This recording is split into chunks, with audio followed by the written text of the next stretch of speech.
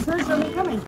No, no. Guys, we are going to Barbados next week. I'm currently at Walmart getting last minute items because I don't want to get there and have to lug around and scramble for necessities. You're never gonna believe how much my place was. All utilities are included. There's multiple pools. Cleaning once a week. Please let me know in the comments what type of sunscreen I should be getting. This is very close to a golf course, so I can go golfing anytime I want.